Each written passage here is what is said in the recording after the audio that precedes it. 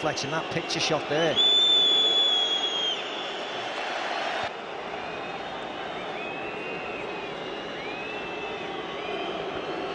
It's the famous old phrase, Steve. It's deja vu all over again, and it's happening once more to Barcelona. In the... Arthur.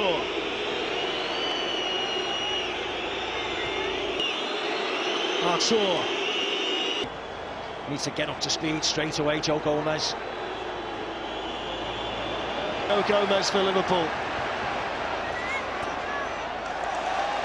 For Liverpool, but they've got to see this five minutes through. They can't let Arthur should have just over three and a half minutes to go. The Kop will sing itself hoarse in the meantime.